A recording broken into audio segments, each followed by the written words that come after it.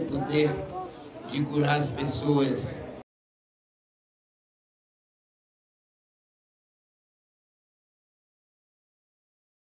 Na verdade, seu Lego é um encantado, ele é um farrista da minha corrente. Hoje ele é o dono da minha cabeça, porque quem vai pros- quem me leva para os tereco é ele, quem prepara os filhos dessa casa é ele.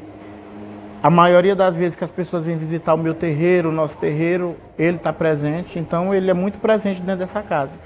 Mas essa casa ela é de uma encantada, uma orixá que se chama Mariana, Dona Mariana. Ela que é a dona dessa casa. Depois dela, que é seu Légua. Mas assim, seu Légua para mim, ele é abaixo de Deus, ele é tudo na minha vida. Tanto para mim como para os filhos de santo. Porque é um, é um vudunço que ele é presente 24 horas, aconselhador, é um pai guerreiro. É, o que mantém essa casa em pé é ele. E como você falou, por onde ele passa, ele vai fazendo amizade, é um encantado que ele é bem rígido dentro da nossa casa, mas também gosta de brincar no seu momento certo. E falando de seu Légua, para mim, eu estou falando só de coisas boas. Dona Mariana, ela é a mãe, porque seu Légua é o pai dessa casa. Dona Mariana é a mãe, abaixo de Deus, né? Assim como todos os encantados também têm seu espaço aqui dentro. Mas eles que estão à frente, por seu pai e ela, e ela a mãe. Mas Dona Mariana, ela pouco visita a tenda. Ela, ela, só, ela tem um compromisso nessa casa que ela vem duas vezes por ano. Muitas vezes, em um ano, ela vem uma vez só. Mas ela, é- o costume dela é de vir duas vezes por ano, aqui na casa, né? Incorporar. Ela vem antes da festa, que é para dizer sobre as vestes, as roupas, as vestes que eu falo é roupa, né? De tradição. Que todos os anos a gente tem aquele o hábito de comprar roupas novas, né? Na- no festejo. E ela vem dizer como que ela quer a roupa, a cor que ela quer. Depois desse dia ela só vem na festa, no último dia de tambor, que é a obrigação de tambor, que é o dia que a gente faz em louvor a ela. Mas Dona Mariana é uma mãe tanto também, aconselhadora, se tratando de, de, do lado de doença, é uma boa curandeira. Ela é sempre presente, ela costuma mandar os recados para o seu légua. Seu légua, ela, quando ela quer alguma coisa, mesmo ela não vindo na casa, que ela, ela costuma vir duas vezes por ano, mas ela deixa sempre um recado para ele, aí ele passa. Aqui para casa, para os filhos, deixa um recado para mim. Então, assim, de, de, de, de, qualquer forma, ela tenta é, segurar a nossa casa e os filhos de santo. É uma mãe aconselhadora. Certo. Aqui na, na nossa casa, na tenda São Francisco, a parte de, dessa parte de roupa, de vestimento, para o festejo, é ela, dona Mariana, que escolhe. Ela diz a cor que ela quer. O modelo já fica a critério da gente, dos filhos de santo, eu como zelador e, e as demais diretorias, porque a nossa casa ela tem uma diretoria muito grande. Para a gente fazer qualquer tipo de evento, ou até mesmo a questão de uma mudança de roupa, o estilo da roupa que a gente vai vestir na festa, tem todo uma, uma, um diretório dentro da casa. Nós temos uma diretoria muito grande. Aí passa, fazemos as reuniões e chegamos a essa conclusão. Mas assim, hoje mudou, porque a questão de roupa, de vestimento, fica mais a critério da gente mesmo, do, do, de nós que dança terecô. Se tratando dos encantados, orixás, para ele tudo tá tudo certo. Andar bem vestido dentro do terecô, isso é, é, é dom da gente, que dança terecô. Eu me visto bem no terecô porque eu gosto de me vestir bem para eles. Mas não de dizer assim que os encantados eles exigem, exigem da gente. Você tem que comprar uma roupa bonita, você tem que comprar um pano, um pano caro, tem que ser um pano no rechelier, que seja bordado. Não, ele não tem isso com ele não andando vestido é importante para ele. Agora, essa parte de andar bem vestido, a roupa elegante, dentro do tericô, é nós que gostamos de se vestir, né? E pelo menos eu gosto. Gosto de me vestir bem. Se eles me dão, eu tenho que dar o melhor para eles também. E essa parte aí fica a critério da gente. É as obrigações. Cada casa ela tem sua maneira de cultuar. Sabemos que é o terecô, mas cada casa ela, ela cultua de uma forma diferente. Eu trabalho de um jeito, casa de fulano de tal trabalha de outro jeito. E assim a gente respeita as obrigações de cada um. Nós saímos da nossa casa para outro tambor para ganhar, né? É, é eu vou para casa dele para ele vir para minha festa. E assim, dentro desse período do festejo, nós costumamos fazer as obrigações, que é a obrigação de, de, de, de Oxóssi, que é o que você está falando, de caboclo. Nesse dia é que não pode vestir vermelho, vestir roupas escuras porque é uma obrigação mais fechada, obrigação de vai chegar uns falangeiros mais zangados na linha dos orixás. Eles, eles não costumam falar, eles costumam ser do jeito dele, índio, né? Então é esse dia que não pode. Mas aqui na minha casa ela, é, ela funciona de diferente. É isso que eu estou falando para vocês. Eu não gosto que meus filhos de santo é, vista roupa escura, mesmo dentro de obrigação ou fora de obrigação. Não sei se é porque da casa que eu, que eu frequentei, porque todo, toda pessoa que tem sua nação, ele tem que ter um pai de santo, tem que ter, né? E eu já vim de uma nação para trás que era muito rígida. A casa que eu frequentei, é, meu pai de santo ele não deixava. Tinha que vestir branco ou vestir azul, contando que não seja roupa escura. Porque diz, ele dizia para a gente lá que essas roupas escuras botavam a gente para trás. E isso eu trouxe, essa nação da casa do meu pai de santo, e levo até hoje dentro da minha casa. Eu não gosto que meus filhos de santo vestem escuro. Quando eu te falei assim, é, sou zelador de santo, ao mesmo tempo pai de santo. Porque assim, hoje as pessoas se adaptaram a, as pessoas que têm terreiro aberto a chamar de pai de santo, né? Mas na verdade, nós somos zeladores de santo. A gente zela encantado, vudunço. Eu zelo essa casa, então eu, eu não sou pai de santo dessa casa, eu sou zelador de santo. Eu zelo as entidades. Mas por conta que, as, que hoje as coisas mudaram e as pessoas se adaptaram a chamar dessa forma, se você chegar numa casa e dizer, eu quero falar com o zelador de santo, poucas pessoas vão entender. Se assim, eu quero falar com o pai de santo, aí sim, é o, é o linguajar popular. Essa é a diferença. É, Na minha casa ela tem essa, esse giratório, porque assim, eu gosto muito de organização. Sou muito rígido na minha casa. Sou novo, mas eu tenho uma, uma mentalidade de. Eu acho que do meu, do meu encantado mesmo, seu Lego, que seu Lego é velho. E eu gosto de tudo mesmo da, da antiguidade. Eu sou assim. E eu sou muito abusado dentro da minha casa. Eu gosto de tudo no pé da letra. Aqui na minha casa tem o dia que os filhos de santo podem sair para brincar, tem um dia que eles não podem, tem que respeitar as obrigações e os dias da casa. Porque eu, como zelador de santo, pai de santo deles, se eu não orientar meu pessoal desse jeito, alguma coisa que acontecer de ruim ou de errado na vida deles, que isso Deus não vai deixar acontecer, nem na minha, nem na dele, nem na de vocês. É, mas se fosse o caso de acontecer, eles iam falar para mim, meu pai de santo, meu zelador de santo, por que, que ele não me avisou? Então é por isso que eu gosto dessa rigidez na minha casa, sou muito rígido. Quando eu digo assim, meus filhos, é desse jeito, tem que ser assim. Ó, hoje você não pode ir para festa. Vamos Nós temos um grupo no WhatsApp que as coisas mudaram, né? Onde fica todo o pessoal da casa, só a família de santo. Aí lá eu todo dia eu boto, eu fico pegando no pé de cada um. Mas já, já se tornou. É... Eles, eles já se adaptaram com isso, se acostumaram. E é até bom, porque eu gosto de evitar as coisas, eu gosto de evitar, né? Para que não veja as coisas acontecer de ruim, nem, nem com ele, nem comigo, nem com ninguém. Porque se algo de ruim que acontecer com algum deles, o culpado seria só, vai ser eu, né? Então, para evitar o problema, eu costumo pegar no pé. Mas isso aí é, é de família mesmo.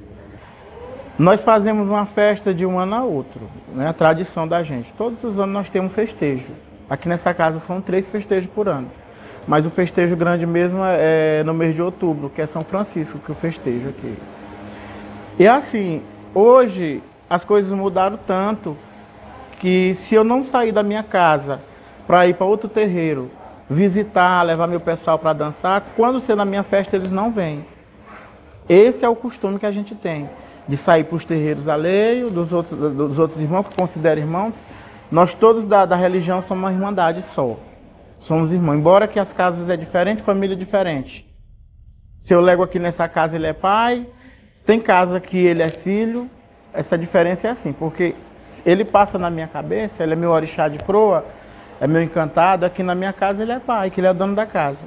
Mas se ele passar em outra casa, em algum dos filhos de santo, que não seja no zelador de santo da casa, ele é filho. Porque tem outro orixá que rege e monitora aquela casa. Então, é, esse respeito, essa tradição a gente leva. E o pessoal só vem para nossa festa se nós sair para deles. Esse é o costume. É, eles têm, nós temos três ritmos dentro da nossa religião. É o jeito de nagô, que é o tambor de mina dobrada, aquele bem lento, que, aquela gira dentro do barracão, onde as pessoas vão quase caminhando. E tem o tambor de mina, que ele é uma gira de corrente, onde as pessoas ficam em volta de uma roda dançando e passa um bom tempo naquela gira. E tem a mata, a mata, o tambor da mata, que o tambor da mata é onde os encantados chegam, incorpora, roda mesmo, faz aquele a, a, a, aquela, aquela dança dentro do barracão. É três ritmos de, de, de, de toques que a gente tem. É o jeito de nagô, que é o tambor de mina dobrada, o tambor de mina, que é corrido, e o tambor da mata, que é chamado mata zumbana. Mata zumbana por ser de codó essa parte de, de da, da, das entidades, incorporação, no médio, o médio ele não escolhe o santo. Quem escolhe a gente são eles. Eu não posso chegar no terreiro, entrar no terreiro para fazer parte de uma casa, de uma família de santos e dizer assim: eu quero dançar nessa casa, eu vou fazer parte, eu vou fazer parte dessa família, mas eu quero encantado fulano de tal. Isso não existe. Eles que vão escolher a gente. Muitas vezes, o, a pessoa entra numa casa de santo, ele, ele é médio de nascença, ele é um médio desde de pequeno, mas ele não sabe que aquela mediunidade dele tem que ser desenvolvida. Ele entra na casa para desenvolver a mediunidade dele. Aí tem um longo processo. Eu, quando eu entrei na, na casa do meu pai de santo, eu apanhei muito de encantado. Muito, muito, porque eu não queria, eu não queria. Eles diziam assim, faz desse jeito, eu fazia de outro. E eles batiam mesmo, as coisas eram diferentes naquela época. Se eu fizesse qualquer coisa que não agradasse eles, eu podia estar dentro da igreja. Eles me batiam lá mesmo. Só que essa ataca que encantado dá na, gente, que somos aparelho deles, aparelho é, é nós que recebemos entidade, que muitas vezes costuma bater a mão no chão, é, derrubar, rolar pelo chão, essa ataque ela não é nada. Ataca pior da entidade, dos encantados que ele dá na, na, no médio, é ataca do tempo, aonde ele tranca tudo pro médio. Para onde ele vai correr, as coisas não dão certo. Ele não está fazendo as coisas certas com ele, ele também não vai cumprir. Aí ele vai lá, fecha as portas, é, tudo que ele quer fazer, de repente ele começa a fazer uma coisa aqui, do nada as coisas não dão certo. Essa é a ataca pior das entidades, que as entidades dão no médio. Se tratando de, de, de, de incorporação, tem todo o processo.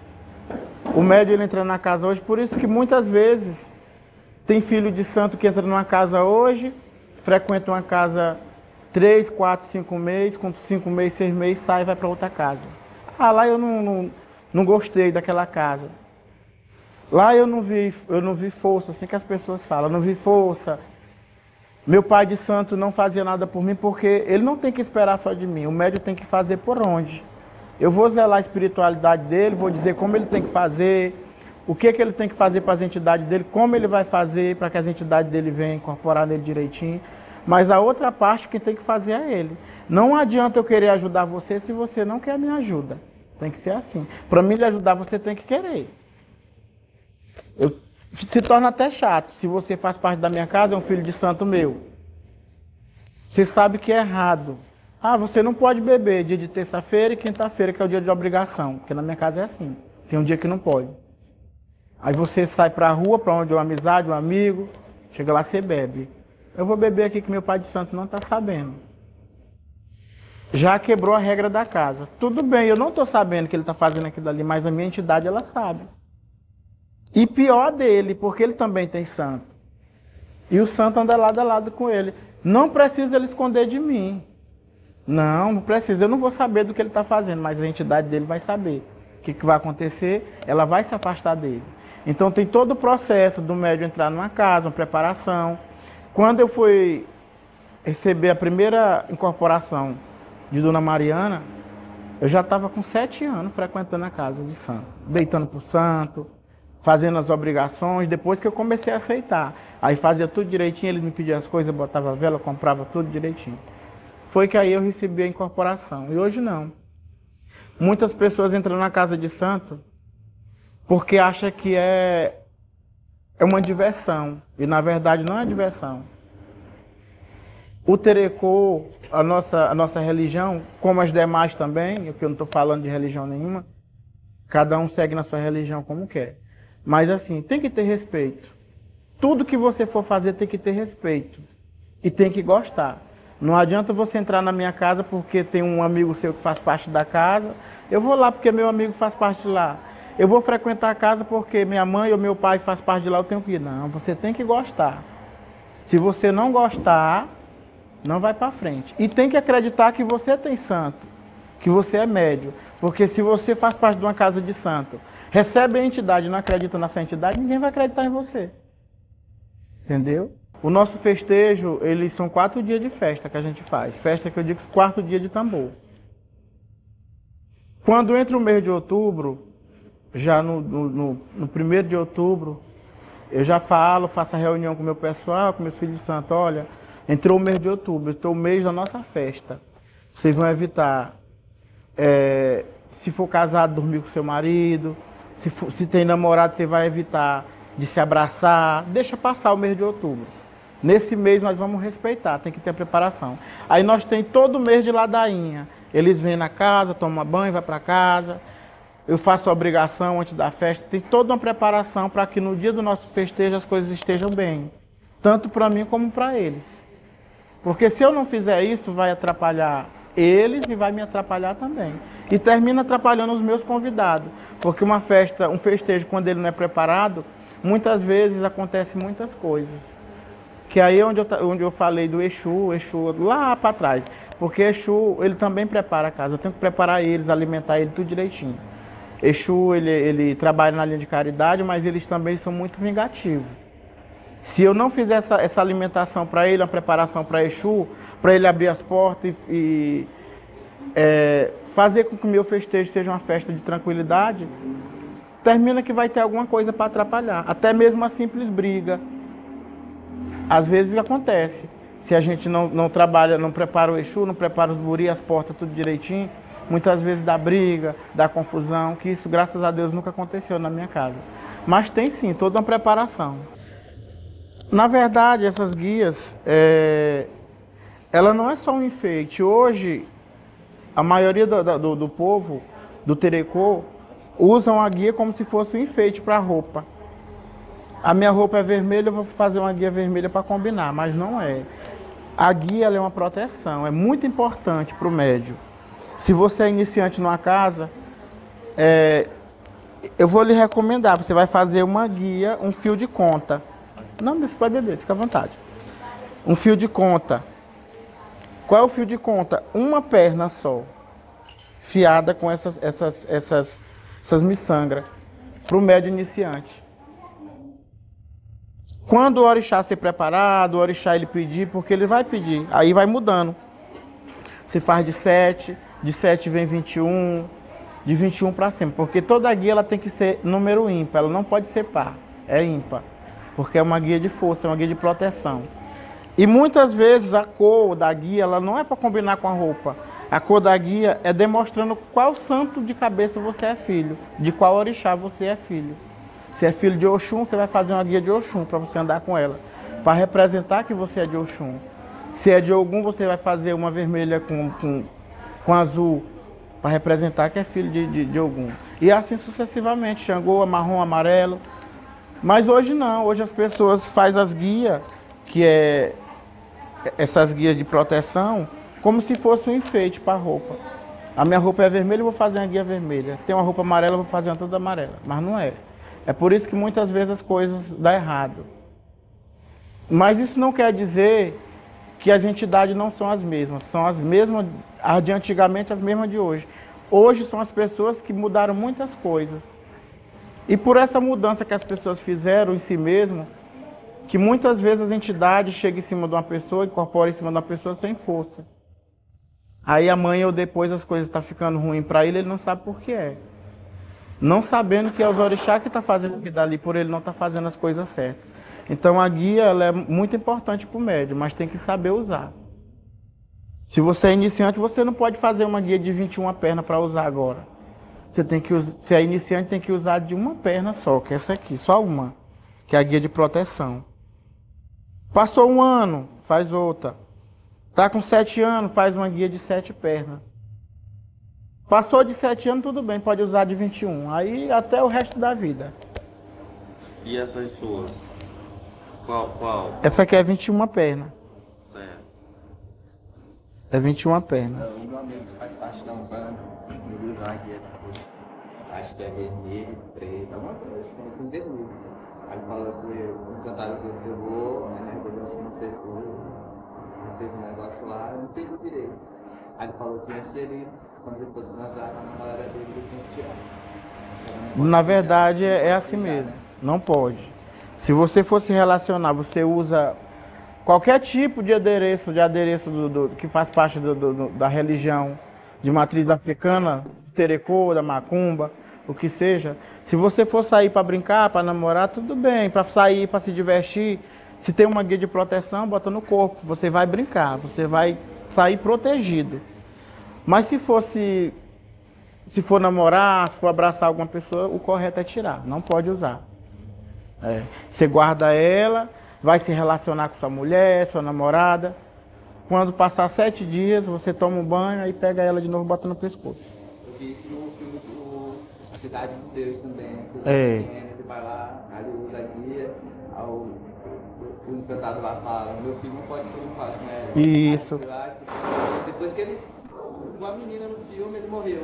É o respeito, né? É. É um elemento sagrado Isso. que você usa. Não é nem tanto pela guia, mas sim pela preparação que a entidade fez. Significado. Entendeu? A entidade pegou, preparou, benzeu e entregou. Você vai fazer desse jeito, não pode. Por quê? Se você usar ela, estiver usando ela no pescoço, se for namorar, a- a- aquele, aquele benzimento que a entidade fez já não vai mais servir.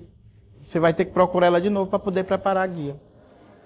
O médium ele entra hoje na minha casa está passando por problema, algum tipo de problema, mesmo que não for. Mas ele, porque a mediunidade ela é de nascença. Todos nós nós temos as nossas entidades. Você tem, ele tem, ele tem, todos nós temos. Nós já nascemos com nossa espiritualidade. O que que acontece? Muitas vezes a minha espiritualidade ela é desenvolvida, a sua não é. Ou a sua é desenvolvida, a minha não é. Essa é a diferença. Como é que você vai descobrir se a sua, se a sua espiritualidade ela tem que ser de- de- desenvolvida? Você vem no meu terreiro, um dia de gira, um dia de tambor, ou que seja uma obrigação, uma sessão. Você chega aqui, você vai se sentir mal. Porque naquele momento, a sua espiritualidade ela está em momento de transição. Na questão da, da, da nossa gira, das nossas obrigações, abala. Aí você vai sentir, você vai para casa. No dia seguinte você já começa a passar mal. Às vezes eles fazem isso. Aí você vai fala comigo, que seja em qualquer outro terreiro. Fala, Antônio Filho, depois, eu fui lá na sua casa, depois que cheguei em casa, eu senti isso, aquilo até normal. Aí eu te chamo, meu filho, vem tomar uns banhos, vamos ver o que, que é, bota uma vela. A partir dali as entidades vai ter mais uma ligação contigo. É onde você vai começar a descobrir a sua espiritualidade. E eu vou te dizer como tem que cuidar. A minha família, graças a Deus, a família de São Francisco é grande. Mas todos respeitam, porque é isso que eu passo para eles. Tem um ditado que diz assim: a casa do pai é a escola do filho, né? Se eu, como zelador de santo, se eu for o primeiro a fazer, a, a não respeitar as minhas, as minhas obrigações, a fazer coisas que não é certo dentro da minha casa, eles vão aprender também. O que, que eles vão dizer? Eu vou fazer, porque o zelador de santo, meu pai de santo, ele faz isso, então eu vou fazer também. Então, para que uma casa tenha moral, tem que começar do dono da casa. E aí sucessivamente. Viu? E aqui a minha casa ela é muito rígida sobre isso aí. E a mensagem que eu quero deixar para não só para vocês, mas para todo todo mundo em geral, o povo, a população de Codó, é assim, que abraçasse mais a- a, a nossa religião, gostasse mais da nossa religião e acabasse com essa questão de preconceito. Porque o terecô ele é presente na vida de todos nós e não deixa de ser uma cultura, uma cultura que ela tem que ser, tem que ser, é, tem que ser feita, né, no linguajar popular, que não, não devemos esquecer. E falando de Codó, não falando do- da, da macumba, esqueceu de alguma coisa. Então, vamos quebrar essa questão de preconceitos, não existe. Se você faz parte da religião, tem uma pessoa ali que não gosta, tudo bem. Nós não estamos aqui nessa terra de Deus para agradar todo mundo, porque nem Jesus agradou todo mundo. Imagine nós que somos pecadores. Mas assim, não importa se você gosta da minha religião ou se não gosta, tem que respeitar, porque daí é que nasce a quebra de preconceito, respeitando. Eu respeito a religião de fulano e fulano respeita a minha religião e assim a gente vai passando. E o que eu quero deixar para essa juventude que faz parte da, da, da- do Terecô, tá certo, se você é do santo, você tem que ficar, mas tem que gostar. E acabar com essa questão de preconceito. Se tem um amigo que não gosta, tem fulano que não gosta, tudo bem. Ele não gosta, fica para ele. Né? Segue nas suas obrigações e deixa ele seguir da maneira que ele quer. E as coisas andam.